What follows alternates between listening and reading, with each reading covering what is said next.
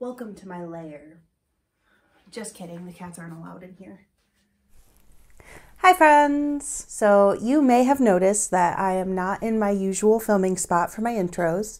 That is because I found this super awesome chair, which was the last big thing that I was really looking for to finish my sewing room. A couple months ago, I kind of came to the conclusion that the room I was in was not working. It was very small, very cramped, very dark, and that was just not lending itself to me being productive at all.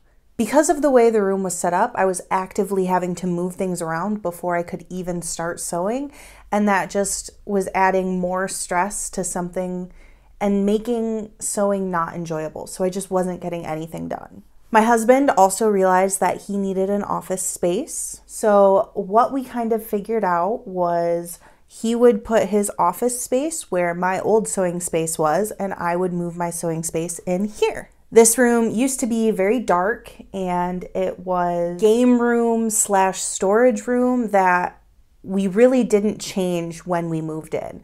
Almost the rest of the house we completely overhauled, and this room we just kind of threw our bits and bobs in and said, eh, we'll deal with it later. Well, now it's later. And so I figured I would show you what we did to change this room. The setup I have going right now the things I wish I had and I will be adding to this room, and things that I recommend people think about or possibly get for themselves if they are setting up their own sewing space. I watched a ton of sewing room tour, sewing room setup, sewing room overhaul videos when I was planning this room, and those were super helpful to me. So I thought just kind of going through my process and showing you what I came up with would be maybe a little helpful for you as well. So we'll start with the room overhaul process, then I will show you my knickknacks and then talk through a few of my choices, why I made them, and what I would recommend other people make for their sewing space. Mm. Let's get started. Hi, Editing Kaity here. I do realize that this video is super long, so if you are here specifically looking for tips about setting up your own sewing space, I will put timestamps in the description box so that you can jump straight to that and skip the sewing room tour if that's what you want. So this is basically what the room looked like when we moved in. This is in the middle of the cleaning process for our basement. It had a bar, a pool table, and a treadmill, and we just threw our futon down there and basically used it as a storage space. We added a ton of lighting, a few outlets, and then painted the ceiling black so that instead of the blue that it was before, it was a matte black and wouldn't be reflecting the light in weird ways. We also painted the walls a lighter color and cleaned and painted the floors as well because those were in dire need of help. We let the floors cure for a while and then moved in all of my furniture and I hung up knickknacks and things like that and this is what the room looks like now.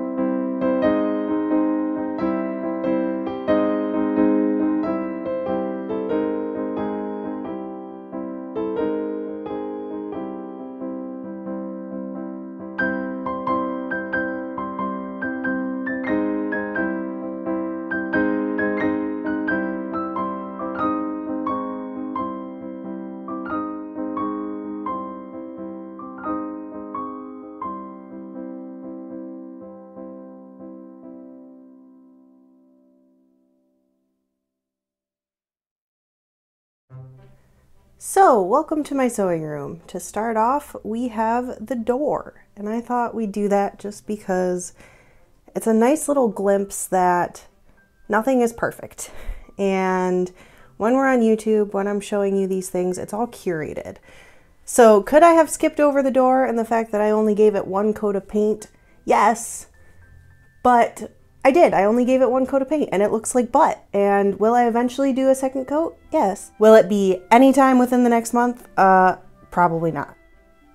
This is the setup you saw a bit of a minute ago. I have my serger there and my main sewing machine there and I really love having the rolly chair, the spinny chair, just because I can go right back and forth between the two without getting up. And that makes my life a whole lot easier sometimes. Here I've got some thread, serger thread, embroidery thread, and I've just hung them from the ceiling because hanging things on cinder block walls is not the easiest.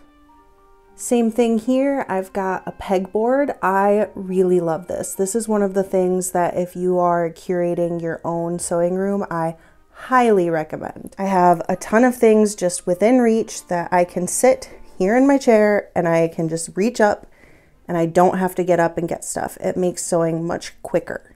Since I switch through projects so often, I tend to keep the bobbins and the thread for the projects I'm working on just right here within reach instead of putting them back with the rest of my bobbins.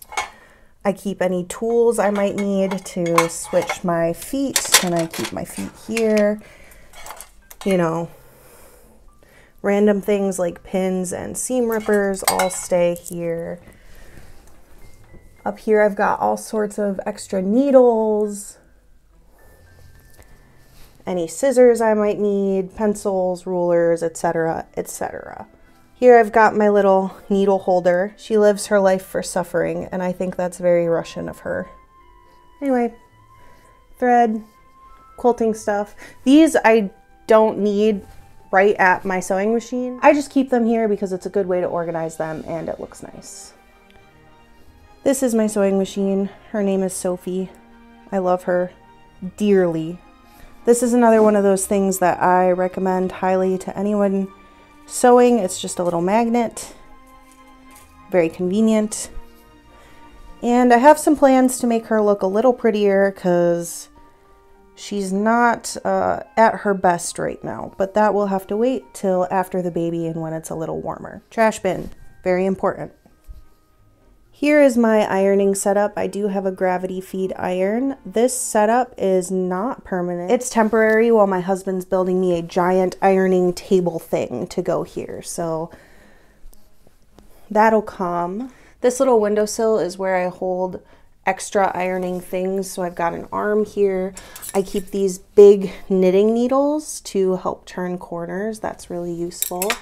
And if I had a ham, it would go there as well. These are my mannequins. It has my current work, work in progresses on it, and also part of my foundations revealed entry mm-hmm. because I just don't know what else to do with it right now. So it's just hanging out there. This is Kevin. Kevin is my weirdly ripped mannequin. He's just like a retail mannequin that's sitting on a lamp base. Um, he needs a new lamp because I accidentally broke the cement that goes in there and uh, he falls over with a small breeze. So then we'll get new legs soon. Eventually I want to get a form that's specifically for my body like bootstrap or something like that, but that's that's gonna have to wait a while. So there's that. On to my first lovely knickknacks. Something that I do is collect novelty teapots. Here are some of my favorites. They are food related. I can't help but adore a teapot that has a little teapot on it.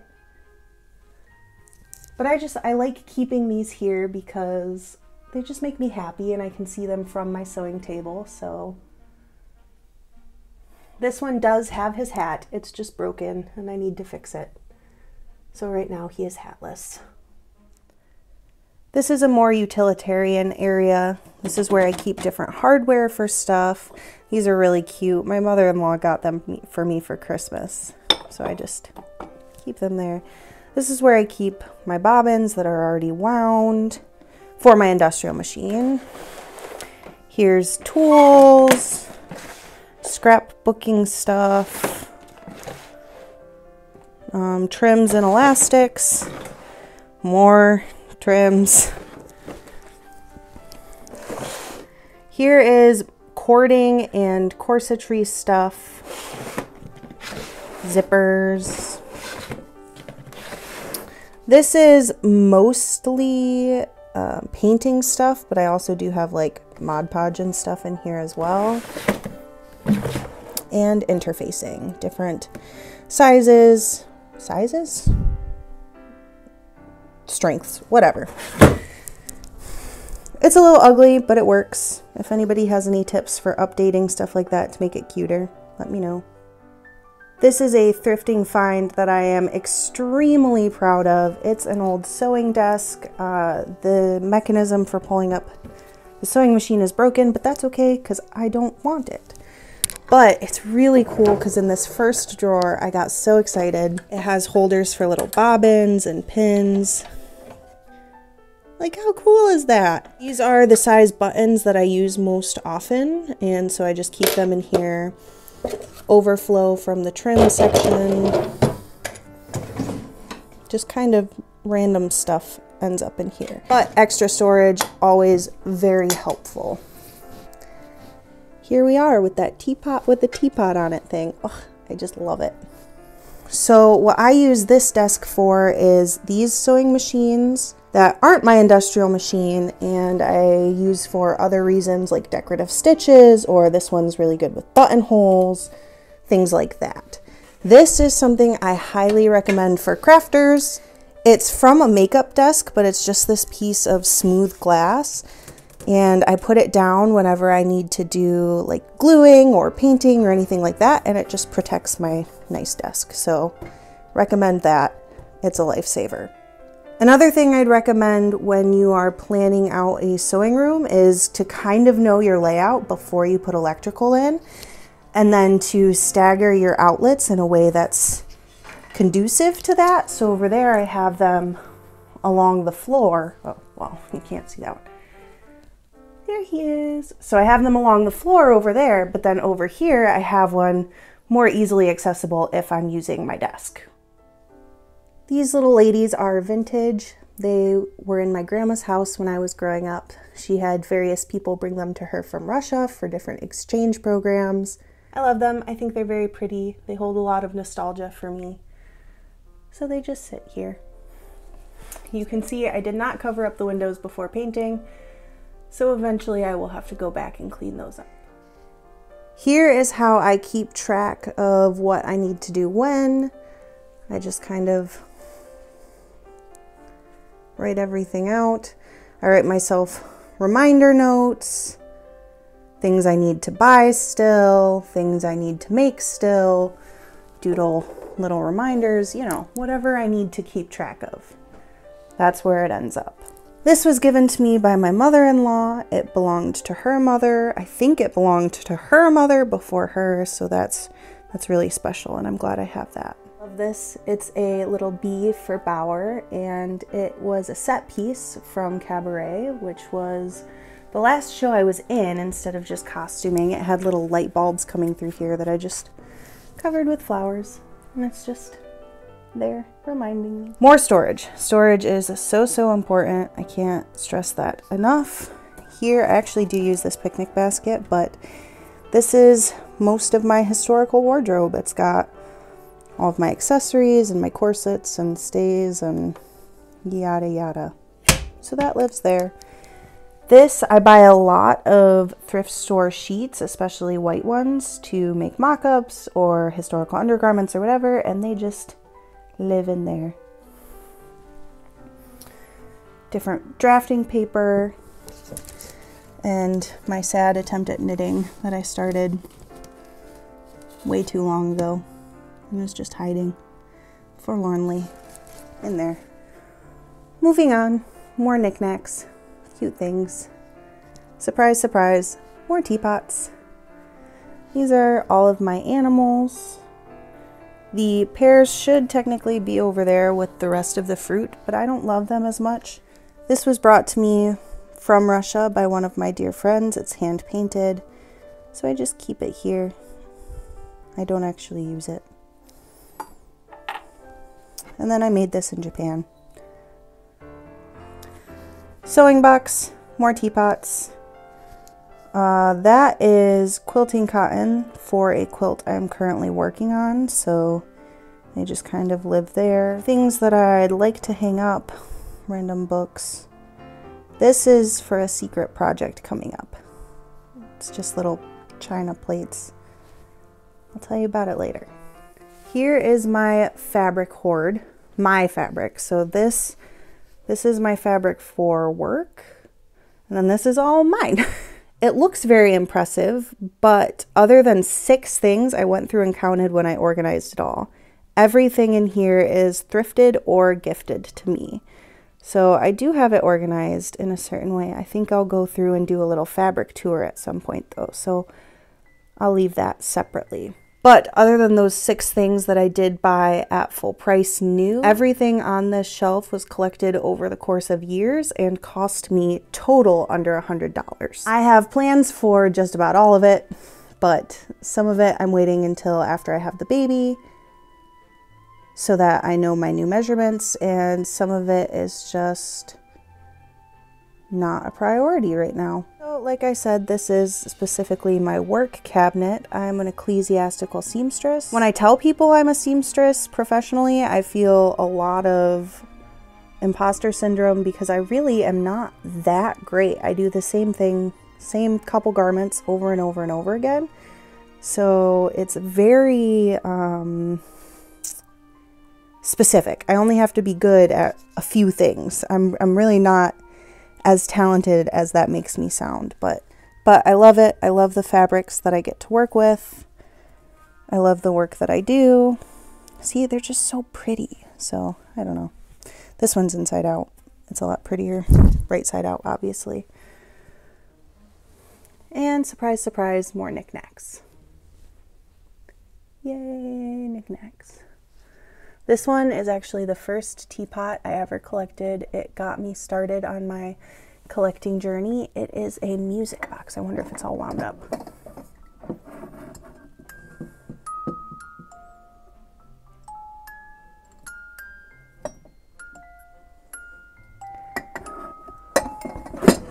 Anyway, so that was the first one. You can see it's broken and was badly repaired by me. Surprise, surprise. These are some of my more um, not novelty-ish ones. This one's really cool. You can get special tea for it that's like blooming and watch it unfurl. It's, it's really cool. Anyway, moving on. Wow, more teapots. Here's different head pieces and hats, I guess. That's from my Foundations Revealed competition when we were doing the pictures. One of the pearls fell off, so I've got to replace that. Here's kind of my random catch-all. I don't know. It just is. More storage. And here I have UFOs and um, kind of my permanent patterns. And this is my UFOs, but also historical baby clothes because I just didn't know where else to put them.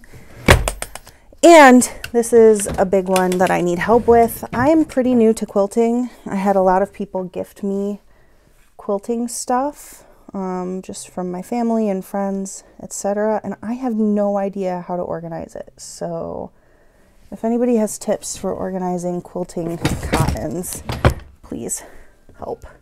Look, there's more. This is my clothing rack. It's mostly work stuff. Um, a lot of this is things that need alterations or repairs, but some of it is stuff that I have sewn from scratch. Behind it here is a skirt that my cousin brought me from Senegal that is really wrinkly, so I never wear it, so I hung it up. Here's a quilt top someone gifted me that eventually I'll finish, and a Civil War vest for my husband that's in the works. I did not make this. My dear friend Catherine made it just kind of for fun, and then gifted it to me because she's really sweet like that. This is a Regency dress that was gifted to me when I started my costuming journey, and uh, you know, I haven't had a chance to wear it because of COVID. So she's waiting. I love you. More storage. This is actually not storage for sewing things. This is. Oh, this is family history stuff that we rescued from our family home. It's got a lot of really cool stuff in it. Lots of cool pictures, lots of knickknacks like glasses and pocket watches, and my husband and I just haven't had time to go through it yet, but we're very excited for when we can. This is a little work in progress that just travels with me. Moving on. This is kind of the um, hectic part, so I'm not really a knitter, but I do enjoy it from time to time. And I organize my yarn with a wine rack. Why not? This is all stuff I used to make soap, so it kind of sits there. That's the, I don't know what to categorize this as, bag. This is fake flowers. This is, I don't even remember what this is. Googly eyes. Okay. This is like printing stuff, candle making stuff, quilt spray, etc. More knickknacks and also useful storage things. This is a headpiece that I wore in my wedding and it's cut from my aunt's headpiece that she wore during her wedding. So really special to me. I want to do something nice, frame it. What even is in this? I don't know. I just keep doodads here. So needles that I don't really use that often. This is safety pins. This is, I think, fake pearls. Yep. This one, what? I don't, I just never remember what's in these. Oh, this one's jewelry making stuff. That one's buttons. I know that. That's why I put that there to remind me. Knitting needles.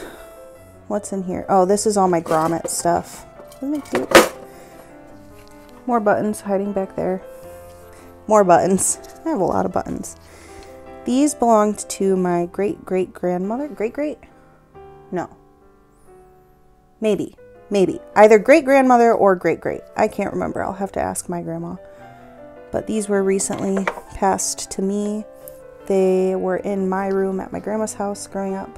So that's cool bias tape maker, a empty picture frame. My cousin brought this back for me from China, so that's neat. I don't know. This is all embroidery stuff, kind of random doodads. This is all stuff that goes with that sewing machine over there, my patterns. This is kind of the catch-all area of things that aren't very aesthetic but need a place to go. That is just sitting there temporarily because I have to deliver it to someone.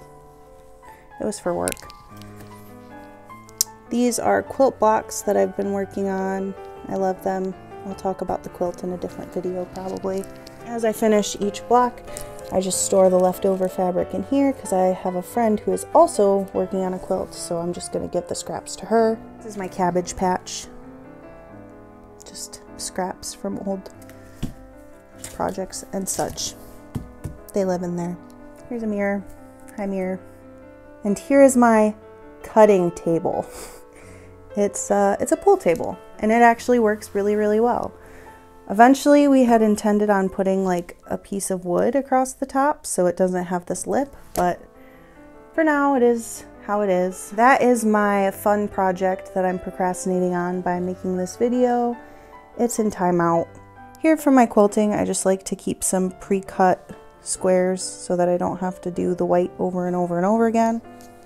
And then I just kind of have a little handy dandy tool thing that lives there. So if you're setting up a sewing room, I highly recommend a large, large cutting space, whether that's something permanent like this or temporary where you roll it up and set it, roll it up, roll it out and set it up, you know, it's just, it makes life a lot easier. So a few things that I would recommend that I don't have in here are lots and lots and lots of trash bins. Right now I only have the one and I want like at least three more. I want one over by that desk over there and I want one on either side of my cutting table. I am constantly finding myself just throwing little pieces of thread or scraps or whatever on the ground and that's just a huge pain to clean up later so more trash bins i would also recommend your own dedicated broom and dustpan for your sewing space. Right now I have to keep going back and forth between getting the one that belongs upstairs and using it down here and taking it back and it's just a pain that isn't really necessary. So I don't have that. I'm going to get one, uh, but that's something that I would recommend. Just that I don't see recommended that often when people are setting up sewing spaces that I think are very useful. To reiterate some things that I think are really useful when setting up your sewing space, when planning your sewing space, are pegboards like this right by your machine so you don't have to get up all the time. Having a little area with your ironing tools right by your ironing board, very helpful. Planning out where to put your outlets, um, that that's a big one. Ooh, good lighting. Let's talk about the lighting in here. So when picking this lighting, I did not think what's the best lighting for YouTube because YouTube is my hobby and ultimately I spend a lot of time in this room. So, what mattered more to me wasn't really the cast of the lighting or if it was soft enough or whatever. For video, it was will I hate spending time down here because I feel like I'm living in a dungeon? So, think about what your lighting needs are and light your room accordingly. So, I picked a lot of very bright lighting, and that's what I needed. So, think about what you need, what's best for you lighting wise. I think even if you're sewing just for a hobby, a little whiteboard like I have, maybe not as structured like a calendar, but just where you can leave yourself notes is very helpful. I think lots of storage is very helpful. I think surrounding yourself with things that you enjoy will keep you more motivated. Fabric storage. Fabric storage is super important. I'm using like a cubby system right now everybody has their their way of storing fabric and I think just find what works for you. I like being able to see all my fabric. I think it's one aesthetic, two it keeps me motivated to work on projects because I can see it like look it's looking at me. It's saying sew me. Ooh, ooh my eyebrows are bad. COVID. So for me, being able to see my fabric is very helpful. For other people, you know, they don't use it as often or they have more of a stash where it doesn't come in and out as often. And so, you know, protecting your fabric from light and dust is a consideration there. So find what works for you, find your sewing style, and then find what works for you. I feel like I'm kind of rambling at this point. I hope any of that was helpful. I found videos like this really helpful when I was setting up my space, so I hope it just gives you a little something to ponder on. I don't think in any way this room is perfect. I there's still a lot I'm going to work on over time, maybe make it a little more aesthetically pleasing, a little more functional. But it works for me as it stands right now a lot more than my old space did. So I am very pleased. I am just on cloud nine, spending time in this room every day. I actually enjoy spending time down here. So my productivity levels have just skyrocketed. So there's that. You need to at least be able to appreciate that the space you're in is functional and assisting you, and your productivity will go way up. Even if you don't necessarily like your space, having a space that isn't actively working against you is a huge part of getting things done editing Kaity again, I just wanted to kind of reiterate that I think the most important thing here is making your space work for you. I'm going to use Bernadette Banner just because she's a really well known name. She has a sewing room tour where she set up her sewing room, and it is absolutely stunning. It's very aesthetic. She's got wall to wall windows with gorgeous lighting. And if I tried to recreate that in my space, it would not work for me because she uses drawers and I would not do well with drawers for my fabric storage. She has all of this natural lighting that I do not have, so any supplement lighting wouldn't work with that. So her space is different from mine, different from my needs, and if I tried to just mimic that without evaluating what I needed and what I can create, it wouldn't work out well for me Another example is my grandmother who lives in a mobile home and she has this amazing modular sewing space where everything tucks away very small and then she can pull it out and unfold and it really works for her and it works for her space. But something like that where I have room for a permanent sewing space would absolutely drive me crazy. So what works for other people is not necessarily what's going to work for you, and that's okay. Don't feel pressured to just mimic what other people do. Really evaluate what you need, and I think you'll end up happier with your space for it. I love them. I think they're so pretty. They're very nostalgic. Nostalgic? I don't know if that's a word. They're very backlit. There we go.